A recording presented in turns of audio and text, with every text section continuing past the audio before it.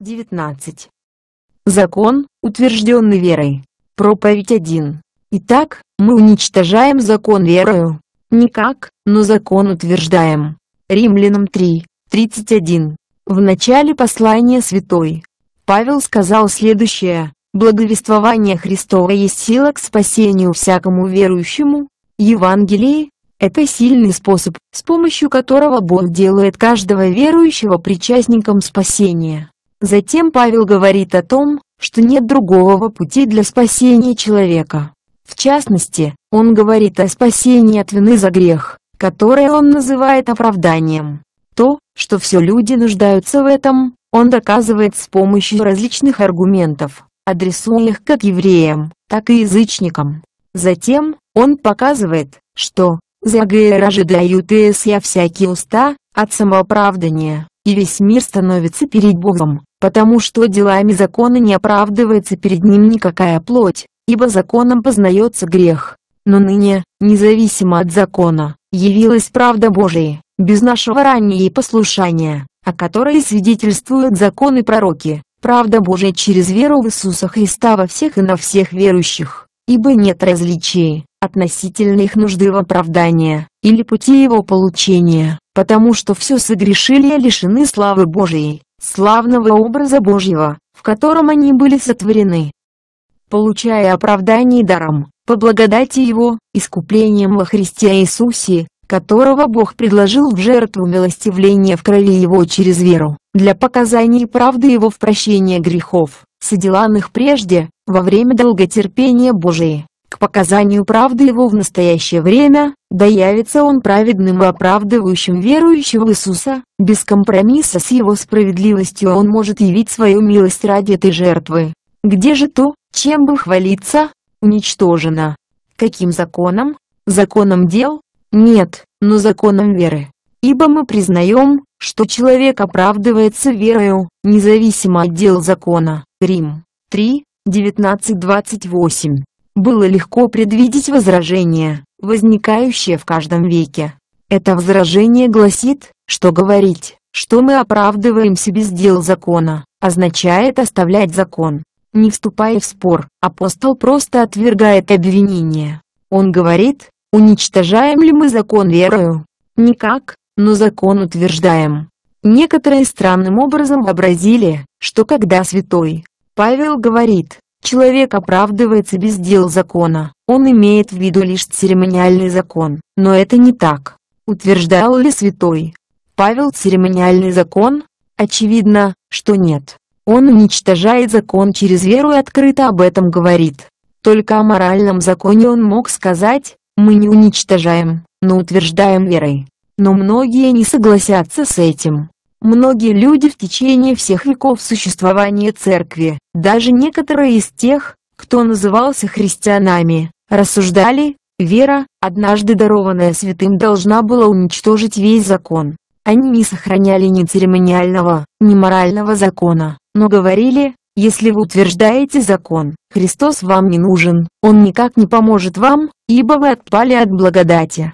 Основана ли их ревность на правильном понимании, Осознают ли они то, что вера и закон связаны, и что уничтожение одного означает уничтожение другого? Уничтожить моральный закон означает не оставить правильного способа обретения веры и возгревания Божьего дара в нашей душе.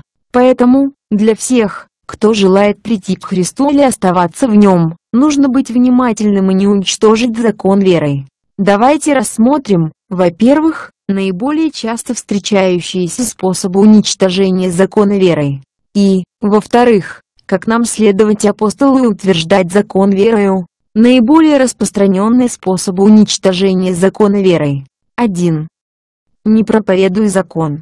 Какими же являются наиболее распространенные способы уничтожения закона верой? Способ, с помощью которого проповедник уничтожает закон.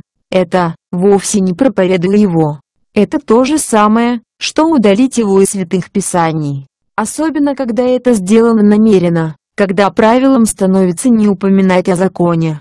Даже фраза «проповедник закона» является чем-то нарицательным, подразумевая чуть ли не противника Евангелия. Все это исходит из невежественного понимания природы, характеристик использования закона. Это доказывает, что те, кто ведет себя так, либо не знают Христа, либо являются младенцами во Христе и несведущими в слове правды. Они считают, что проповедь Евангелия означает проповедь только о страданиях и заслугах Христа, исполняет все функции закона. Но мы отвергаем это. Это не исполняет первую цель закона, заключающуюся в обличении греха, пробуждение спящих на краю адской пропасти. Возможно, были некоторые исключения. Люди пробуждались с помощью Евангелия, но обычным Божьим методом является пробуждение грешников законом. Евангелие не является способом, определенным Богом или тем, который использовал наш Господь для этой цели. У нас нет подтверждения Писания для такого применения Евангелия оснований для ожидания положительного результата, исходя из природы Евангелия. Наш Господь сказал, здоровые не нуждаются во враче, но больные. Поэтому абсурдно предлагать помощь врача тем, кто считают себя здоровыми. Вначале нужно убедить их, что они больны, иначе они не поблагодарят тебя за твои труды. Также абсурдно предлагать Христа тем, чье сердце никогда не было преломлено. Это лишь бросание жемчуга перед свиньями. Они затопчут его ногами, и это будет тем, чего следовало ожидать. В Писании нет ни заповеди, предлагать Христа беззаботному грешнику, ни примеров тому. Это не практиковалось никем из апостолов, насколько мы можем судить по их писаниям. И хотя Павел и проповедовал Христа, он проповедовал и закон, даже больше, чем все другие. Поэтому он не думал, что Евангелие служит той же цели, что и закон. Самая первая из записанных проповедей Павла содержит следующие слова, «И во всем, в чем вы не могли оправдаться законом Моисеевым, оправдывается им всякий верующий. Берегитесь же, чтобы не пришло на вас сказанное из пророков. Смотрите, презретели, подивитесь и исчезните, ибо я делаю дело в дни ваше, дело, которому не поверили бы вы, если бы кто рассказывал вам, Дин, 13, 39-41.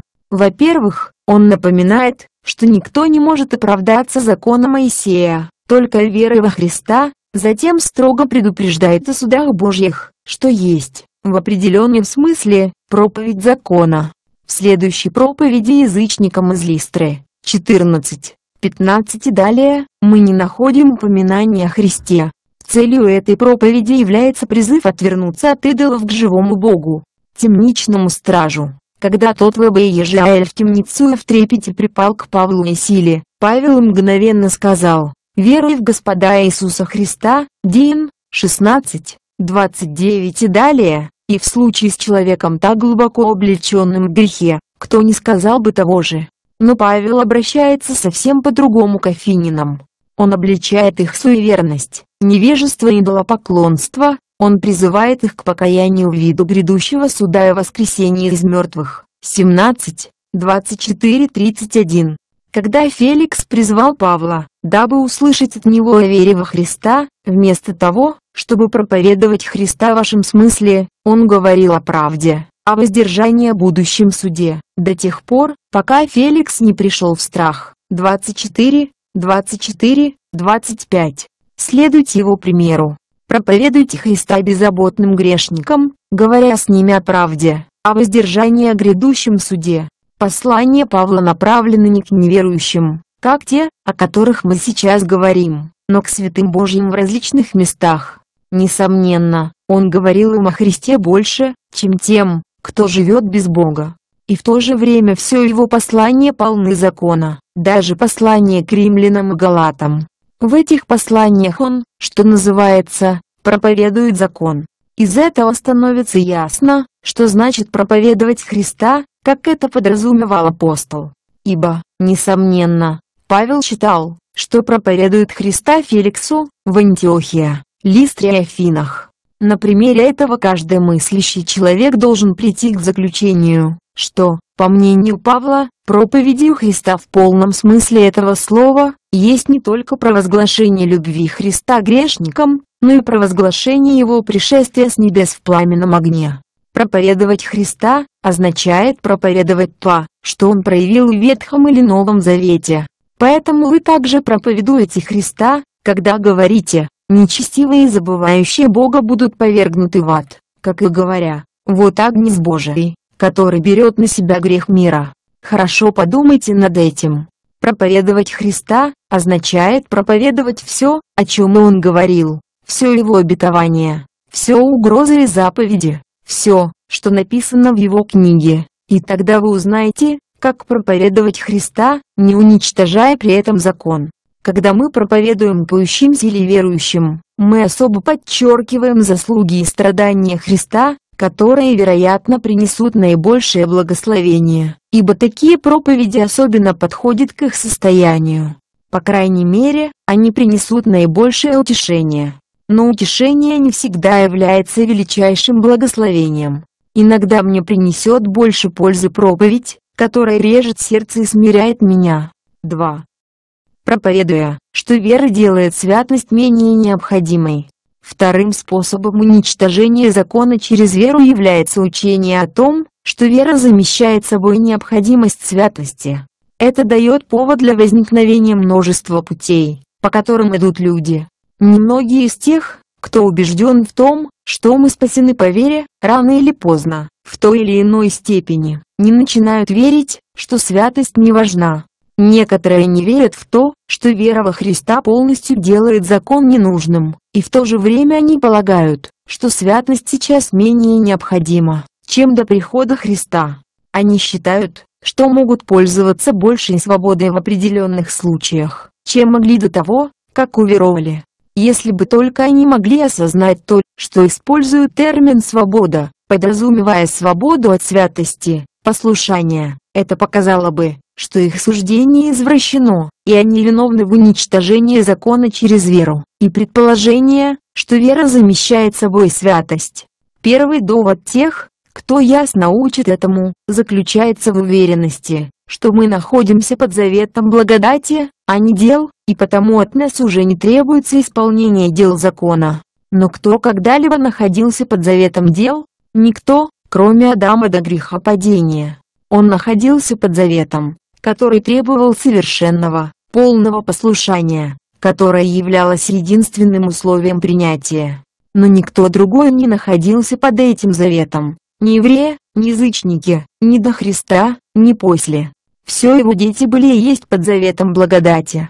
Основанием их принятия является незаслуженная благодать от Бога, которая благодаря заслугам Христа дарует прощение имеющим веру которая действует любовью и производит послушание и святость. Суть не состоит в том, что однажды от людей требовалось большее послушание Богу, или большее исполнение дел Его закона, чем сейчас.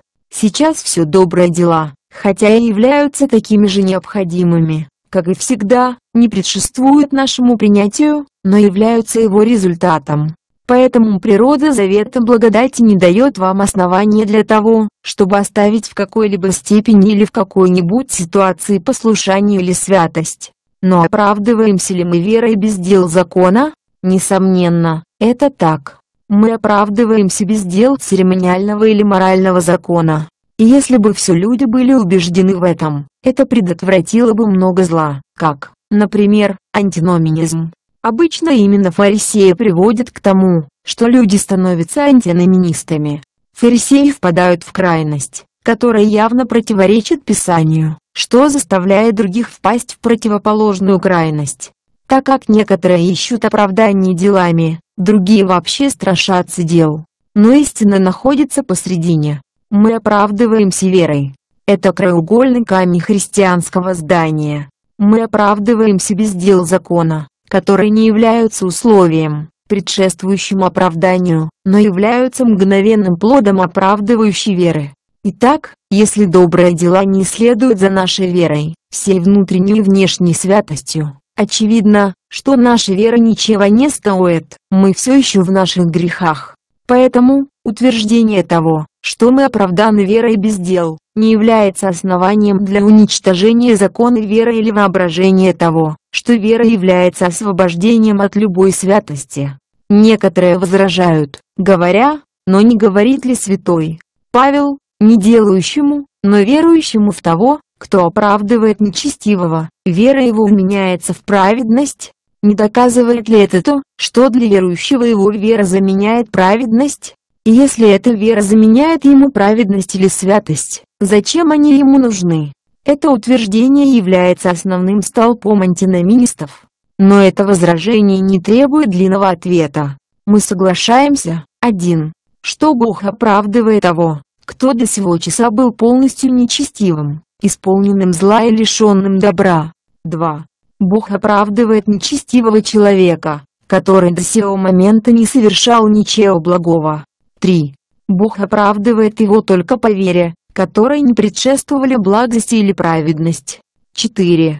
Тогда вера засчитывается ему за предшествующую праведность, то есть Бог, благодаря заслугам Христа, принимает того, кто верует так, как если бы он уже исполнил праведность. Но не здесь, ни где-либо еще. Апостол не говорит, что эта вера засчитана этому человеку как последующая праведность. Он учит тому, что нет праведности до веры. Но где он учит тому, что ее нет после веры? Он подразумевает, что святость не может предшествовать оправданию, но не то, что она не должна следовать за оправданием. Таким образом, святой Павел не дает оправданию уничтожения закона, уча, что вера замещает собой необходимость святости. 3. Подавая пример такой жизни, которая демонстрирует, что якобы наличие веры освобождает нас от святости. Другой путь уничтожения закона веры является буквально практическим. Жить так, как будто вера освобождает нас от святости. Насколько серьезно апостол предостерегает нас от этого? Что же, станем ли грешить, потому что мы не под законом, а под благодатью? Никак. Рим. 6, 15. Это предупреждение имеет огромную важность. Фраза «находясь под законом» может означать 1. Требование исполнять церемониальный закон. 2. Требование исполнять весь закон Моисея. 3. Требование соблюдать весь церемониальный закон, как условие принятия Богом. 4 находится под гневом и проклятием Божьим, под приговором вечной погибели, под приговором вины и осуждения, будучи исполненными ужаса и рабского страха. Итак, хотя верующий имеет закон Божий и находится под законом Христовым, в то же время, с момента, когда он уверовал, он уже не под законом, в любом из вышеперечисленных смыслов. Он уже не находится ни под церемониальным законом, ни под законом Моисея, ибо от него уже не требуется даже соблюдение морального закона, как условие его принятия. Он освобожден от гнева и проклятия Божьего, от всякого чувства вины и осуждения, от всякого ужаса и страха перед смертью и адом, рабом которых являлся всю свою жизнь. Теперь же он хранит, чего не мог делать, будучи под законом, добровольное полное послушание. Он повинуется не из рабского страха, но благодаря тому, что Божья благодать правит в его сердце, и приводит к тому, что все, совершаемое им, совершается в любви. Что же тогда? Должен ли этот евангельский принцип действия быть более слабым, чем законический? Должны ли мы быть менее послушными Богу из-за любви, чем были из-за страха? Заразил ли вас практический антиноминизм?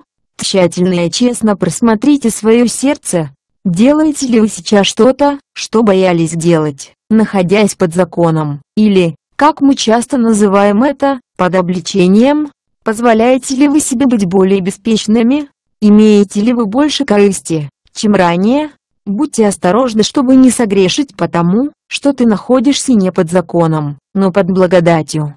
Воспринимаете ли вы голос совести настолько же искренне, как ранее? Вернулись ли вы к тому, что было ранее оставлено потому, что шло вразрез вашей совестью? Научились ли вы говорить, «О, сейчас я не настолько скрупулезный»? Пусть же милость Божья значит для вас не меньше, чем огненный гнев раньше. Является ли любовь менее сильным мотивом, чем страх? Если нет, то прими за правило следующее. Находясь под благодатью, я не буду делать ничего, чего не делал, находясь под законом. Также проверьте себя, не допускаете ли вы грех в виде неисполнения того, что Бог говорит вам. До того, как вы стали находиться под благодатью, вы были внимательным слушателем Божьего Слова. Помешает ли вам поступать так же и сейчас какое-нибудь маленькое препятствие? Мягкая кровать, холодное или темное утро? Покайтесь же, узрите и почувствуйте свою потерю. Помните откуда вы пали. Теперь же будьте ревностными и делайте то, что делаем, находясь под законом еще усерднее. Иначе, если будете продолжать уничтожать закон верой, Бог прогонит вас, и вы разделите одну участь с неверующими. 20. Закон, утвержденный верой. Проповедь 2. Итак, мы уничтожаем закон верою. Никак, но закон утверждаем. Римлянам 3, 31. В предыдущей проповеди мы рассматривали наиболее часто встречающиеся способы уничтожения закона верой. Вот они. Во-первых, непроповедование закона, что уничтожает его. При этом люди прикрываются тем, что говорят о проповеди Христа и возвеличивании Евангелия. Во-вторых, учить, что вера замещает собой необходимость святости. То есть говорить, что святость сейчас не так необходима нам, ибо мы уже уверовали. Говорить так все равно, что учить тому, что христианская свобода является свободой от какой-либо степени святости. В-третьих, уничтожать закон практически, живя так, как будто вера дает нам оправдание не иметь святость, позволяя иметь в жизни грех потому, что мы не под законом, но под благодатью. Теперь мы рассмотрим, как следовать лучшему образцу так, чтобы мы смогли сказать со святой Павлом, мы утверждаем закон. Мы не утверждаем старый церемониальный закон. Мы знаем, что он навсегда уничтожен. Мы не утверждаем всю систему законов Моисея. Мы знаем, что наш Господь пригвоздил ее к кресту. Мы также не утверждаем моральный закон в том смысле, что соблюдение всех заповедей не является основанием для оправдания. Но при всем этом, мы все же утверждаем закон, моральный закон.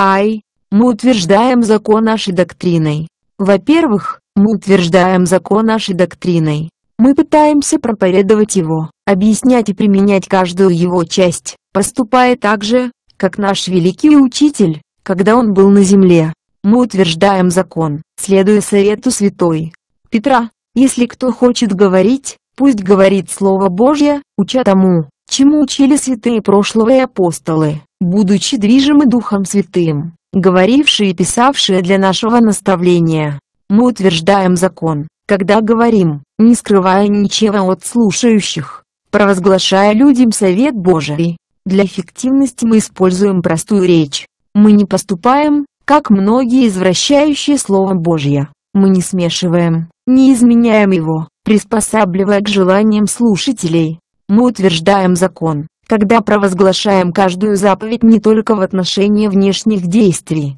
но и внутренних принципов, мыслей, желаний и намерений сердца. Мы делаем это старательно не только из-за того, что оно имеет огромную важность, но и потому, что эти вещи трудно понимаемы. Мы их понимаем настолько мало, что о законе мы можем сказать, принимая во внимание все его духовное значение. Тайна сокрытая веками с тех пор, как был основан мир. Он был сокрыт от языческого мира. С их хваленой мудростью они не нашли ни Бога, ни Его закона. Их невежественные сердца были затемнены, называя себя мудрыми, они обезумели. Закон, в его духовном значении, был практически сокрыт от еврейского народа. Обратите внимание на постоянное обличение нашего Господа, направленное на их неправильное истолкование закона. Они предполагали, что нужно добиваться лишь внешней чистоты сосуда. Они думали, что их предельная точность в отношении внешнего искупит их от внутренней греховности полного пренебрежения милосердием и справедливостью, верой и любовью Божьей. Но закон Божий, в его внутреннем, духовном значении, сокрыт не только от евреев и язычников, но и от большей части, так называемого, христианского мира. Духовное значение заповедей Божьих все еще является тайной для них. Это относится не только к покрытым римской тьмой землям, но даже и к большинству протестантов которые не знакомы законам Христа в его чистоте и духовности. Поэтому, и по сей день книжники и фарисеи это те люди, которые имеют лишь форму, но не силу религия, и которые часто являются мудрецами и праведниками в своих собственных глазах. Слыша это, они оскорбляются, когда мы говорим о религии сердца, и особенно когда показываем, что без этого, если даже мы раздадим все свое имущество и накормим бедных, не будет нам никакой пользы. Но они оскорбляются потому, что мы говорим истину. Нашим долгом является освободить наши собственные души, несмотря на то, будут они нас слушать или нет. Мы обязаны провозглашать все, что написано в книге Божией, угождая не людям, а Богу, провозглашая все благословения и привилегии, которые Бог приготовил для своих детей, мы должны учить тому, что Он заповедал. И мы знаем, что все эти вещи имеют свое применение, то ли для пробуждения спящих и наставления невежественных, то ли для созидания или совершения святых. Мы знаем, что все Писание богодухновенно и полезно для научения, для обличения, для исправления, для наставления в праведности, да будет совершен Божий человек, в процессе Божьего труда в его душе, для которого нужна каждая часть его слова, ко всякому доброму делу приготовлен. Нашим долгом является проповедовать Христа, проповедует все, что Он явил, провозглашая любовь нашего Господа Иисуса Христа, мы можем получить от Него особое благословение. Мы можем говорить о том, что Господь есть праведность наша, мы можем славить Его за то, что Он понес все наши беззакония, и ранами Его мы исцелились. Но мы не будем проповедовать Христа в соответствии с Его Словом, если будем проповедовать только об этом. Если мы не провозглашаем Бога и все дело Его, мы не правы перед Ним. Проповедовать Христа не означает проповедовать о Нем лишь как о великом первосвященнике, примиряющем своей кровью нас Богом, и постоянно ходатайствующем за нас, но также, как о вечном царе, дающем законы всякому, кого он искупил кровью своей. Царе, правящим в сердцах верующих, искореняющим всякий грех и дарующим бесконечную праведность. Секонд. Мы утверждаем закон, проповедуя веру, которая производит святость. Во-вторых, мы утверждаем закон, когда проповедуем веру во Христа, которая не замещает, но производит святость жизни и сердца в ее позитивных и негативных аспектах. Для того чтобы делать это, мы постоянно провозглашаем, что христианская вера является лишь помощницей любви. Несмотря на всю важность веры, она не является конечной целью всех Божьих заповедей. Только любовь Бог наделил таким титулом. Любовь – это цель всех Божьих заповедей. Она сохранится даже тогда, когда небо и земля придут, ибо только любовь никогда не перестает. Вера исчезнет, но даже тогда любовь, ее природа и труды будут как неистощимый запас масла в вечно горящей лампе. О вере сказано много прекрасного, и всякий, кто имеет ее, может сказать вместе с апостолом, «Слава Богу, за сей дар». Но даже вера, когда ее сравнивают с любовью, теряет всю свою красу. Святой Павел говорит, насколько слава Евангелия превосходит закон, и это можно сравнить с превосходящей славой любви над верой, ибо если то, с чем покончено, славно, Насколько же превосходнее слава того, что остается. Слава веры заключается в ее служении любви. Вера – это великий временный способ, назначенный Богом для достижения этой вечной цели. Первоначально вера была создана Богом для восстановления закона любви. Говоря так, мы не обесцениваем ее, но показываем ее истинное значение, и определяем ей то место, которое с самого начала определил ей Бог. Вера является величайшим способом восстановления святой любви, в которой первоначально был создан человек. Поэтому, хотя вера сама по себе не имеет никакой ценности, она ведет нас к цели, и хотя она является способом, данным нам под небесами для достижения этой цели, она представляет собой огромное благословение для людей и имеет огромную важность для Бога. Третий. Мы утверждаем закон в наших сердцах и жизнях. Наиболее важным способом утверждения закона является его утверждение в наших собственных сердцах и жизнях. Без этого все остальное не имело бы значения. Если бы закон, который мы проповедовали, не был утвержден в наших сердцах, наша проповедь закона лишь увеличила бы наше осуждение. Как нам утвердить закон в наших сердцах, чтобы он имел полное влияние на наши жизни? Только вера делает это, что видно из ежедневного опыта. В то время как мы твердо взираем не на те вещи, которые видны, но на те, которые не видны, мы более умираем для мира. Пусть ок души будет сфокусировано не на том, что временно, но на том, что вечно. При этом наша любовь к вещам в мире будет постепенно угасать, а увеличиваться будет любовь к небесному.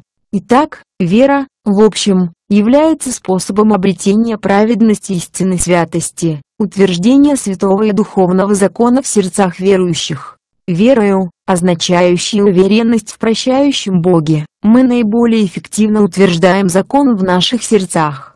Ибо не такого мотива, который настолько же приближал нас к любви к Богу, как чувство любви Божьей во Христе. Только убеждение в Божьей любви помогает нам отдать наши сердца тому, кто отдал себя для нас. Из этого принципа любви к Богу, появляется и любовь к нашему брату. Следовательно, это, как подмечает апостол, есть исполнение закона. Ибо заповеди «не прелюбодействуй, не убивай, не кради, не лжесвидетельствуй, не пожелай чужого» и все другие заключаются в всем слове «люби ближнего твоего, как самого себя». Любовь не заключается в том, чтобы не причинять вреда нашему ближнему. Она постоянно мотивирует нас делать добро, имея время и возможность. Делать всевозможное добро, как можно больше, и всем людям. Поэтому это есть исполнение позитивной и негативной сторон закона Божьего.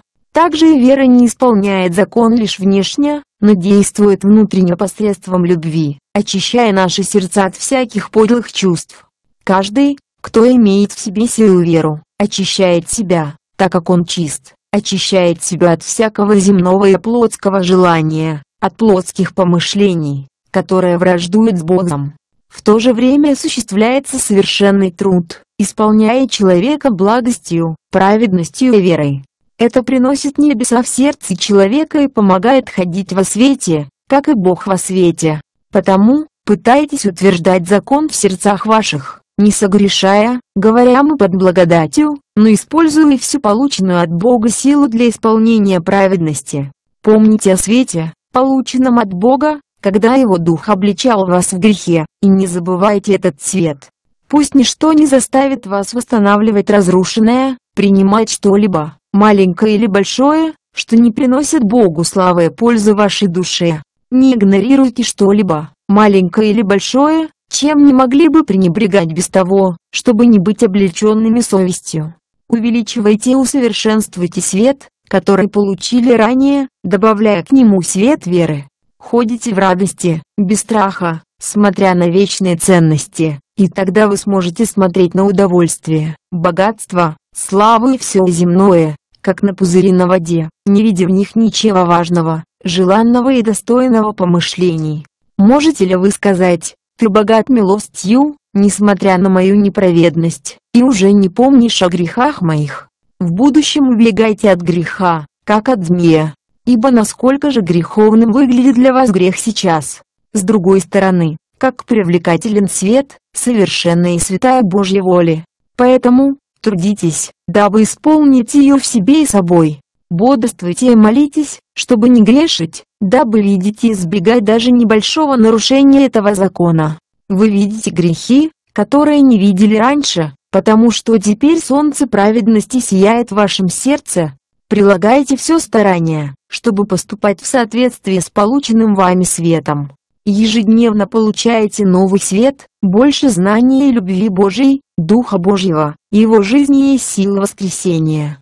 Используйте все знание, любовь, жизнь и силу, которые вы получили, дабы постоянно идти от веры к вере, ежедневно возрастая в святой любви, пока не исчезнет вера, и не будет вечно утвержден закон любви.